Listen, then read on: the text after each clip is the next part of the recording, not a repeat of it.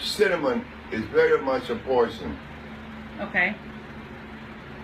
And uh, it is so poisonous that when you give it to a dog, he die in 10 minutes. It doesn't have the same effect on the human body, but it is a hybrid that has cyanide. Okay. Vanilla, well, vanilla is also a hybrid, but it doesn't have the cyanide like, like nutmeg and cinnamon. Okay. It's passable.